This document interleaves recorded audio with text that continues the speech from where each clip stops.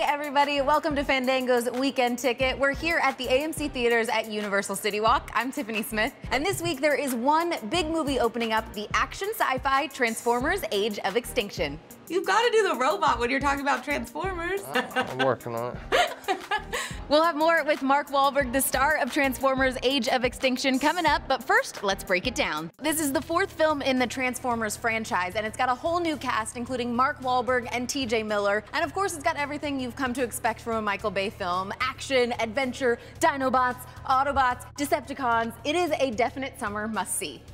I had the chance to sit down with Mark Wahlberg, the star of Transformers Age of Extinction. Check it out. So you've said this is going to be the biggest blockbuster of 2014. What do you think it is about the movie that is going to blow all the other films out of the Well, water? Michael Bay, you know, at his best, and also the laughs. I mean, they came with a great script, but Michael would always, you know, encourage me to come up with stuff and try stuff. Even when we were in the rehearsal process, we'd be going through a scene, he'd be like, well, what would you say here, and what would you say there, and you know, every kind of dig and insult and all that stuff flows pretty naturally for me. I don't know why, but um, he, he trusts you to kind of do your thing as long as it's within the context of the story and the moment. You're all good.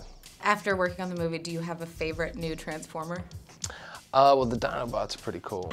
They're not friendly. My character's not really intimidated by them. He's got a great relationship with Optimus Prime, so he's safe. Speaking of Optimus Prime, and be honest, if you asked him who's his BFF, who would he say? He'd have to say me, because I saved him.